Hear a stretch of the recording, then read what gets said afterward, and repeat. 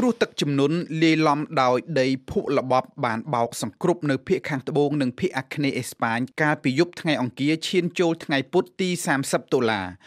តំបន់ទីក្រុងវ៉ាឡង់ស្ថិតនៅជាប់មាត់សមុទ្រមេឌីទែរ៉ាណេគឺជាទីដែលរងគ្រោះខ្លាំងជាងគេបំផុតផ្អែកតាមតួលេខបឋមគិតត្រឹមថ្ងៃប្រហ័សនេះមានមនុស្សស្លាប់យ៉ាងហោច95នាក់ក្នុងនោះ92នាក់ស្ថិតនៅតំបន់វ៉ាឡង់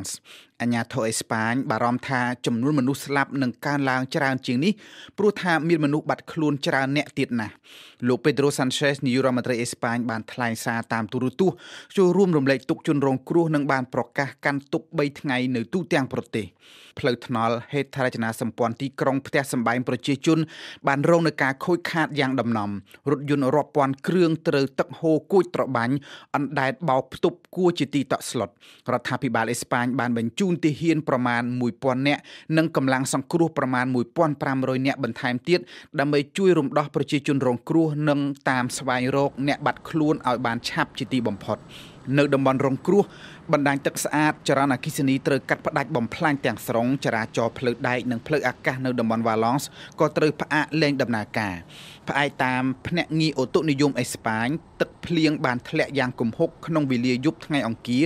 ដោយត្រង់ចំណុចខ្លះដូចជានៅភូមិស៊ីវ៉ាជាយទីក្រុង Valence គឺទឹកភ្លៀងធ្លាក់ដល់ទៅជាង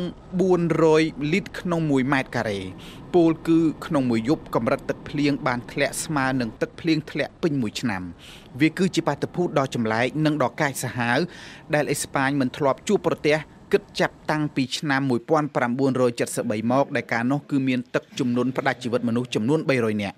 លោក Jess Neumann សាស្ត្រាចារ្យជំនាញធារាសាស្ត្រនៅសាកលវិទ្យាល័យ Reading អង់គ្លេសបានលើកឡើងថាគ្មានទីកន្លែងណាដែលអាចគេចផុតពីគ្រោះមហន្តរាយធម្មជាតិដ៏កាចសាហាវនេះបានឡើយចាប់ពីពេលនេះទៅបាតុភូតធម្មជាតិដ៏កាចសាហាវបែបនេះនឹងកើតឡើងកាន់តែញឹកញាប់ដោយសារតែបំរែបំរួលអាកាសធាតុអ្នកជំនាញរូបនេះអំពាវនាវថាដល់ពេលហើយដែលត្រូវតែពិនិត្យឡើងវិញនៅការរៀបចំហេដ្ឋារចនាសម្ព័ន្ធសំណង់គ្រប់បែបយ៉ាងដើម្បីទប់ទល់ជាមួយនឹងគ្រោះមហន្តរាយធម្មជាតិ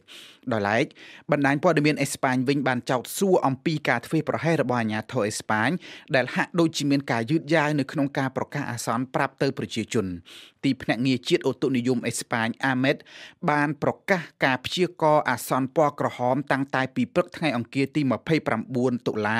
ថានឹងមានភ្លៀងធ្លាក់យ៉ាងគំហុកតែផ្ទុយទៅវិញទាល់តែម៉ោង8យប់ ទើបបានអាជ្ញាធរការពារប្រជាជនអេស្ប៉ាញផ្ញើសារអាសន្នតាមទូរស័ព្ទទៅកាន់ប្រជាពលរដ្ឋដែលរស់នៅតាមតំបន់រងគ្រោះ